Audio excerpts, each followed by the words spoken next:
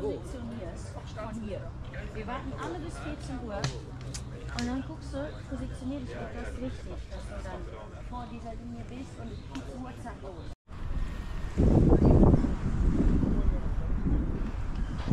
Ich probier's. Danke.